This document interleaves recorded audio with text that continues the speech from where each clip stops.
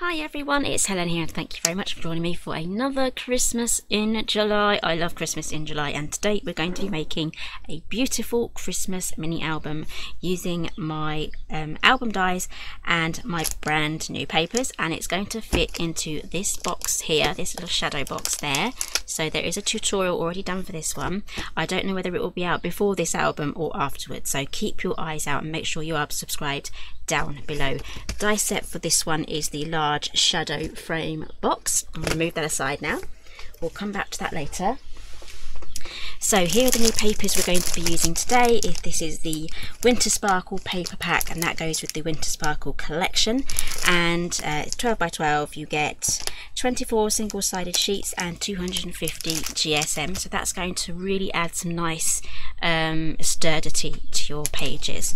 And we're also going to be putting together the large album die set. Now it's the large album die set that fits in that shadow box there so I've got everything cut out already and I'll be quickly going through the cutting guide and then we'll start with our sticking and our gluing. And with mini albums you tend to need a lot of cardstock. And so I've gone for the soft lavender foundations card. I love the foundations card range from creative expressions. And um, you'll probably need around about one pack at least one pack to do a mini album. Buy two um, just to make sure that you are covered and not going to run out so um, I'm serious there make sure you have enough card whenever you're doing mini albums make sure you have enough card Okay, let's jump straight in. There's one thing I do need to say with these mini albums is the way they fit snugly inside the shadow box. If I take this page here, this does fit inside very snugly, so there's no room here for tabs and tags coming out of the top or the sides if you're having side pockets or if you're having a top pocket there's no room there for the tags however I can show you some other tricks and things that we can do there if you still want to have a nice interactive um, insert to go inside your pocket. So let's go through the cutting guide very quickly. So this is the large die set there. I've had a good bash with it this morning doing all of my die cutting. So you get the main page die here. You need to die cut six of these. Now this is specific to this album that I'm making. I have other videos using this album um, die and I've done it in a, a few different ways. So today for this album, you need six of these. You need, this is the page die, come to that afterwards. You'll need one of those. So I'm going to pop them here so you can visually see one of those. And with this one here, you're going to need three of those. So I have my three here and we're going to be popping this into um, a portrait album. If you want to do a landscape, you can do. You can have that on its side. We have the guide marks here for you to cut the binding so that it will fit the um, album on its side. Okay, and then to complete the pages and to start our front and back covers, we're doing our covers a bit differently. Um, you need to die cut, oh sorry, manually cut eight of these. I'm just going to write the measurement down for you. It needs to measure 9 inches by 6 and 3 eighths of an inch and you need to cut eight of these. So six of them are going to be for our die cut pages that we've just done here. And the two remaining ones are our front and back cover. And then what we're going to do is going to we're going to add some chipboard cover. So I have one cut out and prepared here. It's the same measurement as the 9 by 6 and 3 eighths because it slips into the, um, the shadow frame box perfectly. And then I'll be showing you how I cut this one today. I'll be using my paper trimmer for this and I will link a video down below with, I think it's three different ways on how you can cut your chipboard nice and easy. It also goes by the name Greyboard as well if you are searching for it. I tend to get mine from eBay, that's uh, in the UK. Um, I know Amazon will probably sell those as well. If I can find some links for different Greyboards and things like that, I will link them down below. Right, so let's get assembling. I have five of my pages already done here. They're going to be top loading pocket pages and the edges are going to be popping onto the binding. Okay so let's complete our last page. So it's done all of the score lines for you. So we're going to fold those down. Use your um, bone folder as well. Get those nice and crisp like that. Okay grab your glue. I'm going to be using Cosmic Shimmer. I know uh, Scotch Quick Dry is really good as well as um, oh what was the other one? It will come to me in a moment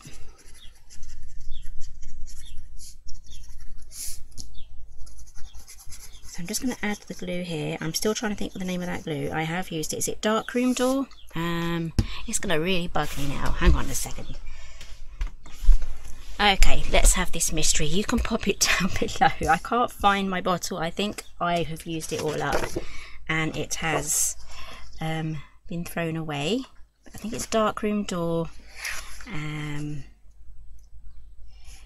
but if you know which one I mean pop it in the comments. And also the Collall glue as well is really good for this as well. And let me know if you do have a favourite glue in the comments down below. It's going to be perfect for all these quick drying glues are really good for all of your 3d makes. Okay so that is our last page done. So this is going to be a six page album pop those together, pop those aside. Let's work on our binding. So we have the large one and three of the narrow ones. So all we do is just fold these up. Do the same for all of these as well. Use your bone folder definitely for this. So this is going to create our outside bit of the spine on the outside.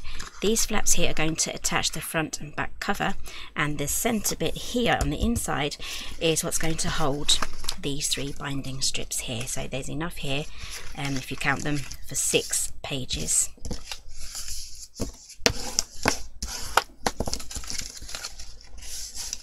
Okay, so those are all done. Now let's get these popped in. So we're going to be starting with the middle section first middle section as in the whole the center here and I've added no guidelines or score lines or notches to help guide you because they would be visible. They'll be visible and handy for you to use but then they'd also be visible on your finished project. So if you think you might need to practice this if you are completely new to this then have a little practice a few times just getting everything straight okay?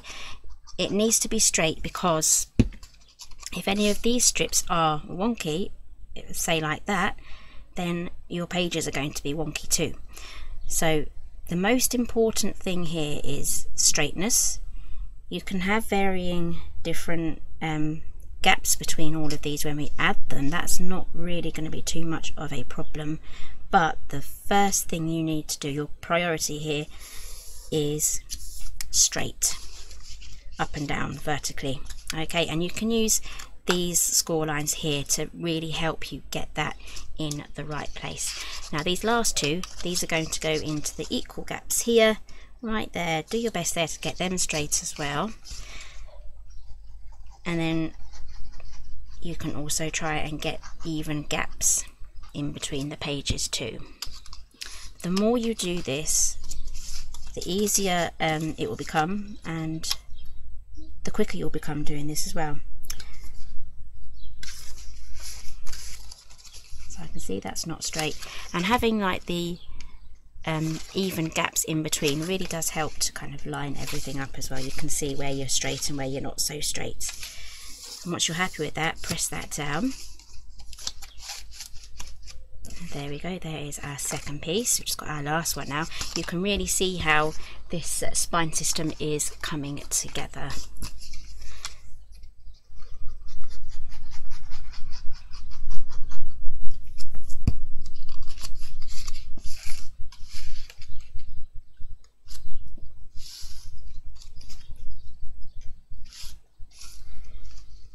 Okay, I wasn't going to edit all of, all of that out. I was silent there.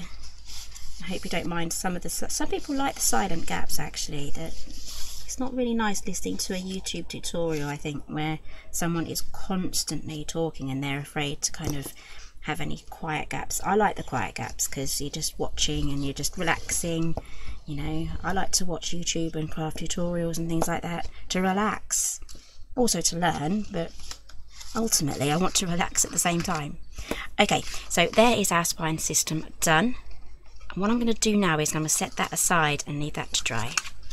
And now we're going to quickly work on our chipboard. So let's get that cut. So I've got my pages here. As I said, it needs to measure 9 by 6 and 3 eighths of an inch. I've got one prepared already. And I've used some wide tape, double-sided tape on both sides. And I will link this tape um, down below. It's from Amazon. It's my favourite for this sort of thing. So let's get this cut down. Gonna have to stand up for this one. I'm getting the big boy out here. There we go. This is my Fiskars bypass trimmer. Love this. I've had this for a very long time. So let's make our cut here. First one at 9 inches and the second one at 6 and 3 eighths.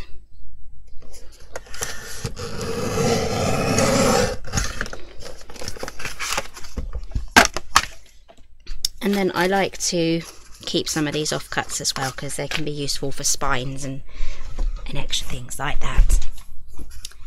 Okay, so that Fiskars, um, I will leave that linked down below. Um, it cuts through the chipboard. I've had mine for absolutely years. It hasn't blunted. And then straight afterwards, you can cut thin paper. It's, it's absolutely wonderful. It's my absolute most favourite trimmer ever. And I have a few trimmers. Okay, so let's pop these on. The easiest thing to do is pop this on along this one side here. Grab your ruler and then do that. Oh, can you hear that noise? Not sure if the uh, camera's picking that up, but they're cutting the hedges out the back with the big tractor. So obviously that's going to be a little bit noisy.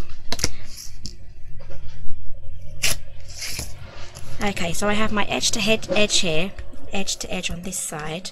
This is quite important. And then I'm going to go right up down the middle. These little gaps I'm fine with. And then use your ruler again just to cut that. Okay, repeat it on the other side. Now it's quieting down now. I think that was just a big gnarly hedge that they hit there. Okay, now we have our front and back covers done. I have, um, where are they? Okay, here they are. Two extra pieces. That is what um, is going to go onto our mini album to create our front and back covers. I'm just going to power through this. Sorry guys if the noise bothers you. And then we're going to pop this on the top and then I'm going to address the next stage with probably with another two of these as well but little little details like that can be done as we work through the album okay so let's get our pages on so we're going to start off with these two pieces and we're going to attach them just to the back here just like so. So just add your glue just to one side here. And all of these little notches and cut out bits from the numbers they're going to be hidden completely so they're not going to be visible at all. Okay so it might be easier just to slide this under and then just double check by turning it over.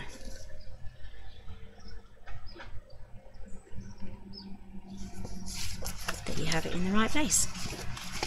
I can see here I just need to push that over ever so slightly. So again this is very different to some of my other assembly tutorials so it's always worth watching because I do try to get a little bit of um, a varied assembly for you each time so I'm not making the same album again and again so now what I'm going to do is just repeat the same on this side and then we can start working on our pages.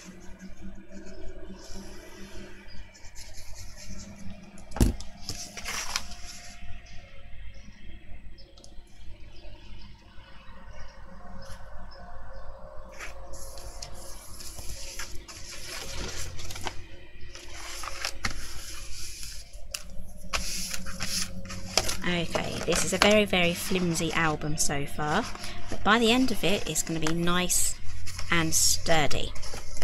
Okay, there's no upside or downside yet until we put the pockets in, so always pay attention to where your pocket openings are because you don't want to have half of your pages with pockets at the top and then half of them below okay so we're going to start off with our first page here and it's up to you whether you want to decorate your pages before you pop them in or whether you want to decorate your pages after you have a complete album to play with. So I'm just going to add glue just to the first um, binding strip. Glue either side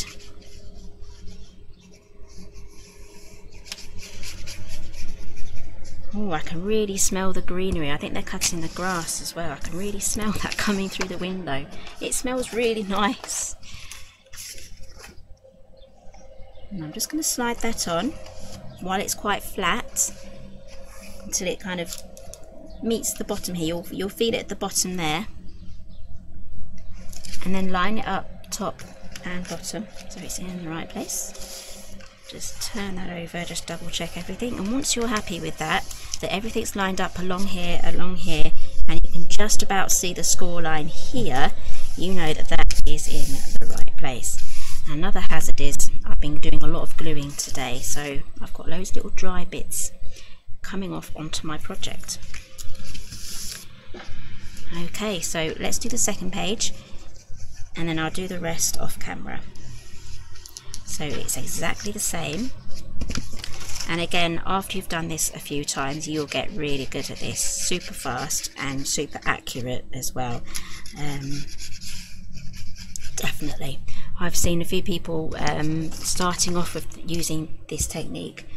Um, not being so neat to start off with but then as they share their projects throughout the times as the months go on you can really tell the difference especially with how things are lined up and everything. So the first aim is to get it all nice and neat as soon as you can really.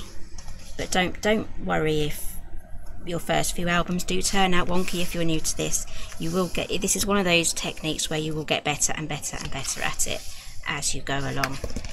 Okay, so these are all lined up just like that. And this is really addictive as well. This is such an addictive hobby to have making loads of mini albums. They're a lot of fun to make, especially as each one is different. Loads of different papers that you can choose. Okay, so I'm going to carry on adding the other four and then I'll be right back to show you the next stage.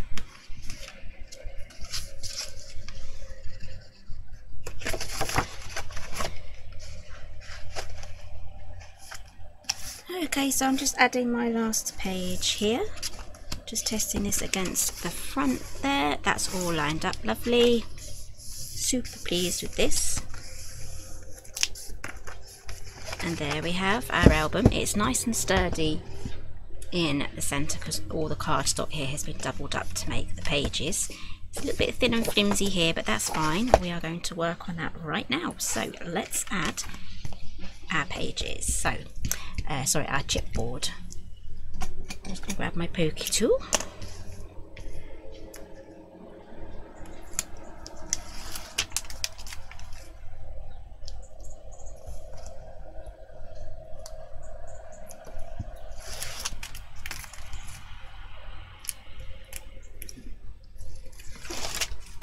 and uh, these can be popped into the recycling bin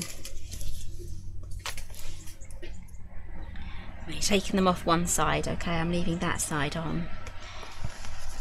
And then what I'm going to do is I'm just going to pop this on like that line everything up and then stick that on. There we go. Okay so the reason why I'm making this sort of cover is because uh, also a wrapped cover like a traditional let me show you a wrapped cover like this one I've used the medium album for this one and as you can see it adds too much dimension on the spine here at the top and the bottom. You could try and make it um, your wrapped cover um, the same size as all of the pages but then you'd still have this extra space here um, going into the shadow box and that might um, not fit. So I'm going to keep this very plain here. I'm just going to cover this with to reinforce it with some cardstock and um, keep the front and the back hard covers to make it that little bit more durable. Because once you add your chipboard covers it really does make a huge difference in um, how the book feels because there's that um, added weight. And then once you've got all of your pages matted it's going to feel even better. Now if you've made these books um, mini albums before you will know exactly um, what I mean by that. So let's get this last one on. Lining up going straight up to the score line just lining up here with these corners. And then press that down there we go. And now we have a really you can hear that a really nice sturdy album. Isn't this going to be the perfect size for storing all of your Christmas memories in?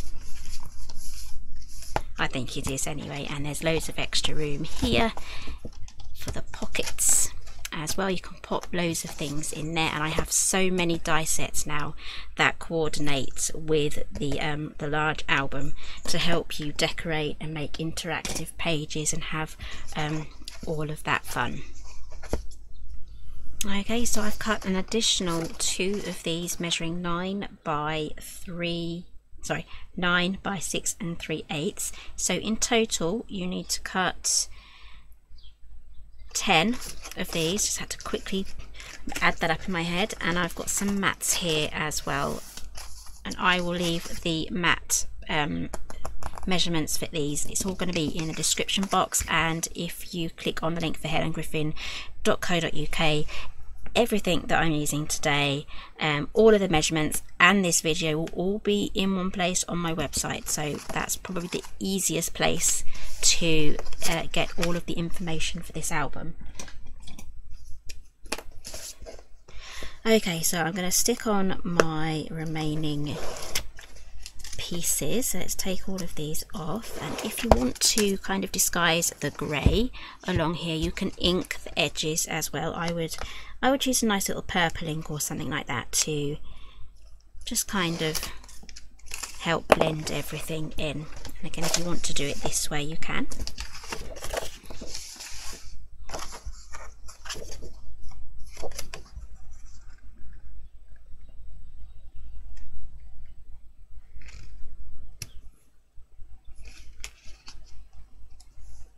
there we go and if it's not a perfect fit and you have something showing. Again ink it and that will hide everything. There we go. Is that a nice book there. Look how nicely that is coming together. I love that and I love this colour. It reminds me of the colour of my bedroom when I was a teenager. The colour, I think it was called they call it damson. I think that was the colour. Dulux it was a Dulux colour in Damson.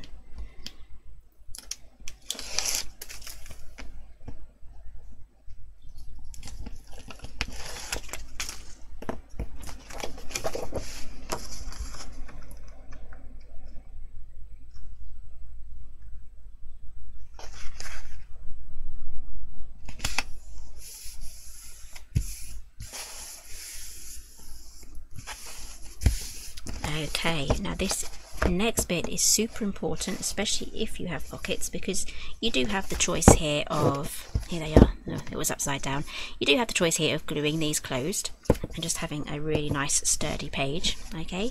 Um, so now I know my pages are at the top and my book is the right way round, I'm going to add the covers. So I've chosen these two from my paper pack. Just another quick look here it is this lovely lovely patterns here. We have the silver birches, we have these lovely semicircles there, uh, overlapping, the lights, the snowflakes, and the lovely pattern there, and also the, the grey wood grain as well. I love that. That wood grain is going to go really nicely with um, the, the shadow box. Okay, so we can have them going this way, we'll have them going downwards. Think I'd have them going up upwards like that and I'm not going to use any other extra dimension because I want this to fit into the box.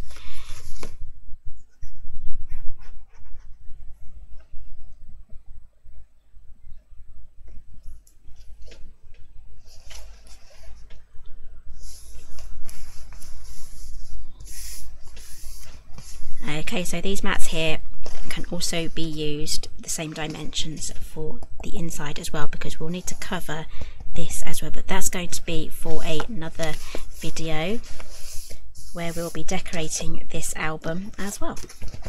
Right let's get this last one on. And it goes this way because the branch is going upwards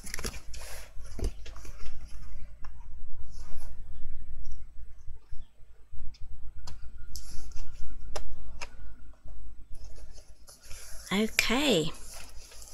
There is our back cover on. Look at this. I love that. And then I will also leave um, the dimensions on the spine as well. I'll do that off camera because I'm wondering what I should use for that. I could repeat.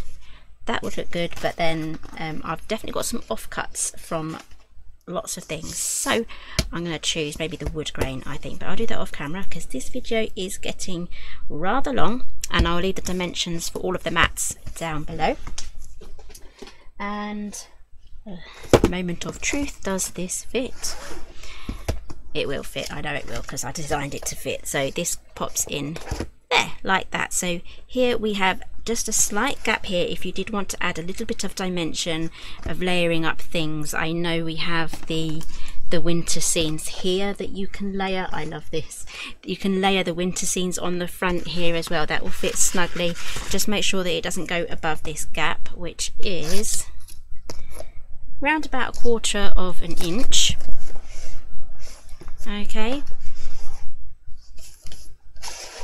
so that is the large album that fits into the shadow box. Now everything is linked down below. Everything is also on my website helengriffin.co.uk there is a link that will take you straight to that page so you don't have to go around um, looking for it. It's all there.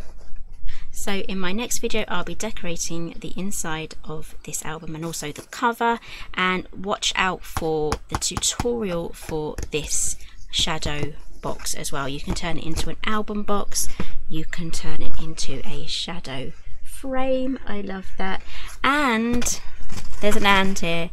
I haven't finished it yet because I'm still making my samples. You can make it into a gift box as well. I love this. Lovely presentation box. I've got a mini bottle of wine here. I've got some dividers here as well and here. So this is an absolute wonderful little present that you can give to someone perfect for any occasion, not just Christmas. Okay, so that's enough showing all of my samples. I hope you really enjoyed this one. Please do join me for part two of this album decorating. Watch out for the tutorial for the shadow box. Uh, subscribe in the corner there. You can click the icon that will subscribe you and just make sure you don't miss any of my Christmas in July videos because it's my favourite time of year and I've got lots of projects to share with you guys. So thank you very much for joining me today. Give me a thumbs up if you like this one and I'll see you all again soon.